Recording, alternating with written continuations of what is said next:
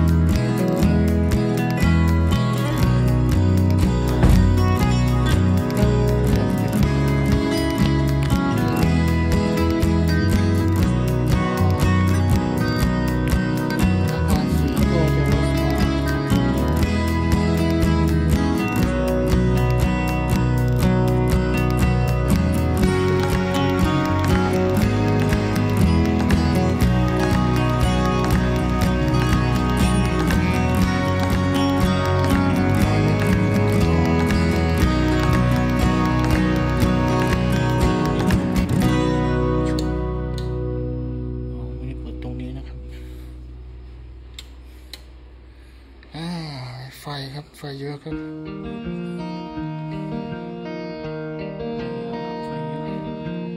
ก็มีตู้ตู้เสื้อผ้า